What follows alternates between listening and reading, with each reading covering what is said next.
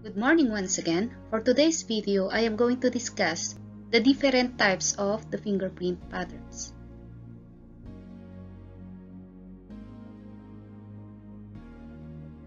These fingerprint patterns includes the arches, the loop, and the whorl. Among the three patterns, arches is the least pattern since it covers only the 5% of the entire population, then followed by the whorl pattern which covers 30% of the population, whereas the loop pattern covers the highest percentage of the population which is 65%. In other sources, loops covers 60 to 65% and whorl patterns covers 30 to 35% of the population.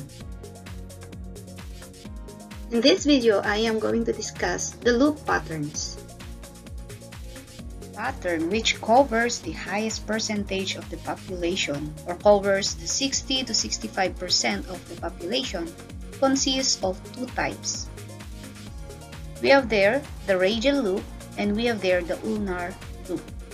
Radial covers 6% and the ulnar loop covers the 94%. is the type of the fingerprint pattern in which one or more ridges enter upon either side and then recurve, touch or pass an imaginary line between the delta and the core, and then pass out or tend to pass out upon the same side of the ridge entered. In other words, a loop pattern must have a delta in a core, and it must have a ridge count of at least 1. Likewise, it must have a sufficient recurve wherein it is not spoiled. These three actually are the elements of a loop pattern. Later, we are going to discuss one by one the elements. The first element of the loop pattern wherein it must have a delta and a core. If you have watched my previous video regarding the analysis of different fingerprint characteristics and formations, I have discussed there the different rules in locating the delta and the core. So in our first example, we have here the dot ridge. Since this is a dot ridge, this will be our delta. And our core will be located here since we do not have any rod or bar. So the location of our core is on the farthest shoulder of a recurving ridge farthest to the delta. On our second example, since this is our first obstruction, this will be the location of our delta. And this will be the location of our core on the top or summit of the rod. Okay, as long as the rod rises, rises as high as the shoulders of the recurving ridge or the loop. So this will be our core. On our last illustration, since this is a bifurcation, our delta will be located somewhere here. And the location of our core is the same with our second example. It must be located on the top or summit since we have here one rod or bar. So this is the location of our delta and the core. Our second element is that it must have a ridge count of at least 1. So when we talk about ridge count, okay, so these are actually the ridges which intervenes if we are going to draw an imaginary line between the delta and a core. Again, when we talk about ridge count, these are the intervening ridges between the delta and a core when we are going to draw an imaginary line. So in this first example, we have there one ridge count. Since this ridge is being touched or crossed when we have there the imaginary line. On our second example, again, the intervening ridges between the delta and the core. So in here, we have two ridges that was touch or cross. In here, we have two, we have here two ridge count. On the first one, we have only one. And on our last example is that between the delta and the core, we have three ridges that was touch or cross when we draw the imaginary line between the delta and the core. So we have here three ridge count. Take note that ridge counting is only applicable to loop patterns and I will be discussing the rules in ridge counting. In cases that you have encountered these patterns, just like on our third example, the uh, counting of ridges should be like this.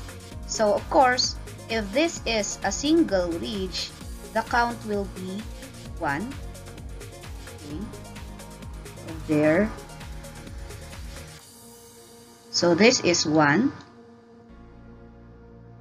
and this is 1 since it only touches one ridge and of course this one one ridge okay we also have there one ridge now of course when we encounter this uh, two ridges that has been touched even if it came from a single ridge okay the ridge count will be 2 so we have there 1 and then 2.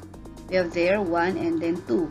When we draw a an imaginary vertical line. So in here we have there 2. There we have there 2. Now the question is, what if we encounter this particular part wherein there is meeting or convergence of two ridges? Okay, even in here, we have there converging or meeting of two ridges. So how are we going to ridge count this?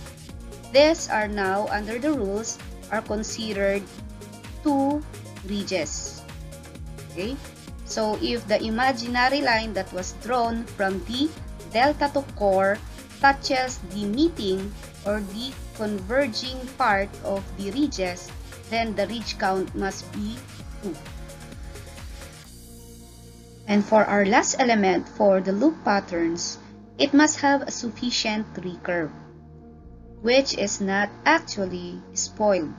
When we talk about a sufficient recurve, it consists of the space between the shoulders of a loop. These are the shoulders of a loop wherein it is free from any appendages. So the shoulders of a loop are the points at which the recurving ridge definitely turns inward or definitely curves. So this will be our shoulders. Here. Okay, so these are our shoulders. Mm -hmm. Again, these are the part where in the uh, loop actually recurve or uh, turns inward. There.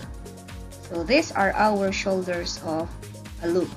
That what makes the uh, loop sufficient or the recurving ridge sufficient.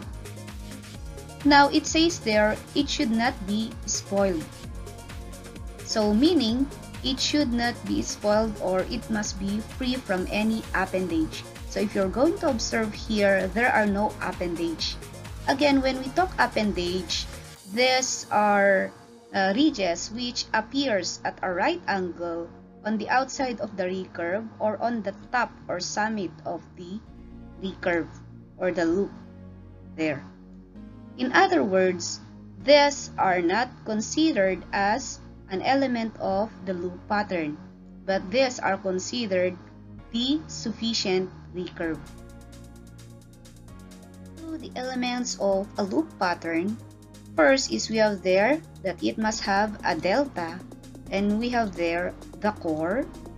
Second is we must have a ridge count of at least one. If we are going to draw an imaginary line between the core and the delta, there are intervening ridges.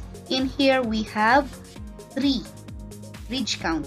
And of course, the last element that there must be a sufficient recurve wherein it must be free from any appendage.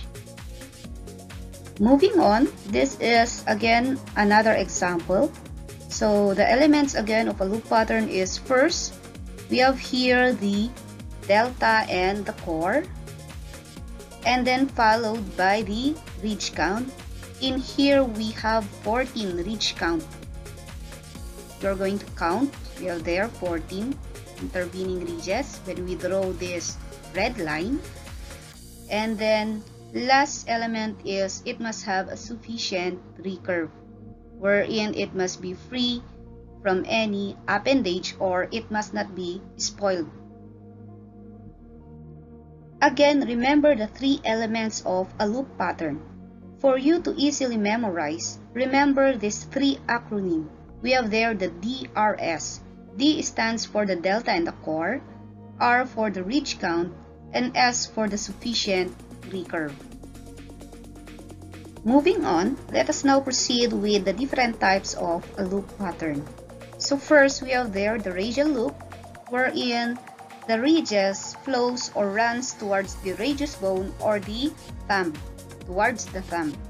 Secondly is we have there the ulnar loop, wherein those ridges tends to flow or runs towards the ulna bone or the little finger. So in this first example, if this is our fingerprint pattern, if you are going to observe this ridges tends to go or runs towards the ulna bone. So this is considered as an ulnar loop. In this example, these are taken from the right hand. Okay? Now, on the second example is that the ridges in the fingerprint pattern tends to go towards the radius bone or towards the thumb.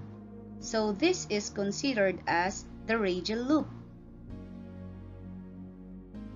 On our third example is that if you are going to check the ridges, again, the ridges turns to run towards the ulna bone or the little finger.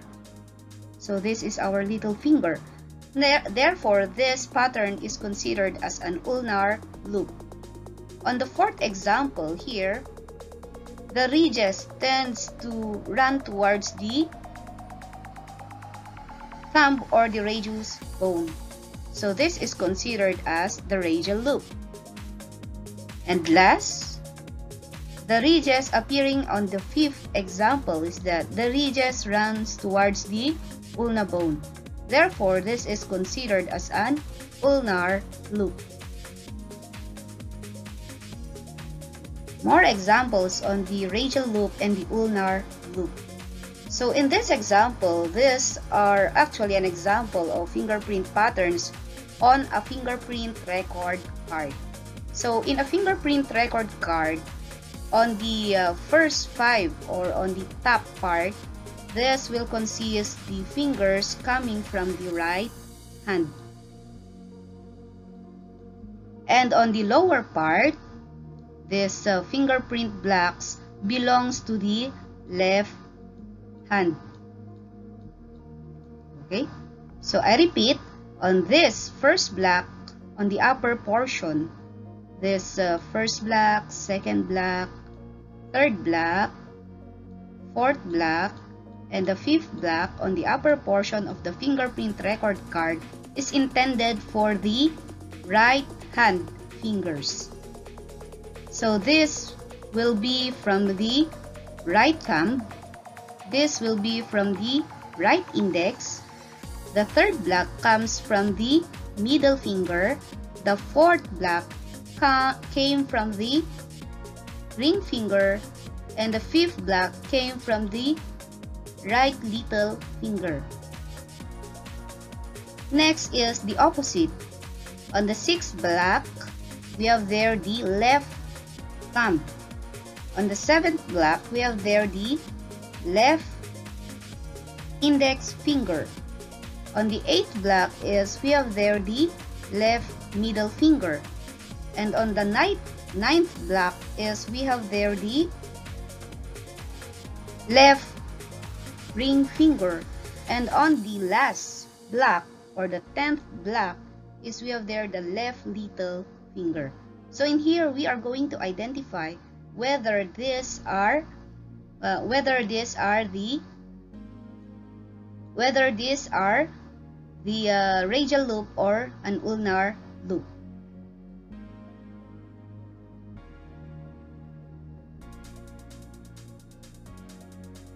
So on the first block, we can observe that the ridges run towards the ulnar. Again, we are going to use this as our reference since it is the same that it, the fingers are taken from the right hand. So this runs towards the ulna bone. So this is considered as an ulnar loop. Next is this. The ridges tends to run towards the radius bone. So this is a radial loop. Next is we have here the third block. The ridges runs towards the ulna bone. Therefore, this is an ulnar loop. On the fourth one is we have there fourth block. The ridges run towards the radius bone. So this is radial. And next on the fifth block is we have there the ridges tends towards to go on the ulna bone or the little finger. So this is actually the ulnar loop. On the sixth block, again, we are not going to use this as a reference since this is taken from the right hand. So in this example, it must be the opposite. Okay, so in this sixth block, the ridges run towards the radius bone of the left hand. Therefore, this is a radial loop. On the seventh block, the ridges run towards the ulna bone of the left hand. Therefore, this is an ulnar loop. On the eighth block, the ridges, same with the sixth block, the ridges run towards the radius bone. Therefore, on the eighth block, this is considered as the radial loop. And on the ninth block, the ridges, the same with the seventh block, the ridges run towards the ulna bone of the left hand. Therefore, this is an ulnar loop. And on the tenth block, the ridges run towards the ulna bone. Okay. We have there the ulna bone, just like the seventh and the ninth block. Therefore, our fingerprint pattern on the 10th block is considered an ulnar loop. So I hope you are able to memorize the distinction between the ulnar loop and the radial loop. Again, when a loop enters and exits from the thumb side of the hand, the pattern will always be radial loop. So these are radial since this is taken from the right hand. Now, when a loop enters and exits from a pinky finger, the pattern will always be an ulnar loop. So, there are no exemptions to this rule. Now, if we are going to use the left hand, the answers for this will be opposite. That's it. So thank you for watching our video lecture on fingerprint patterns.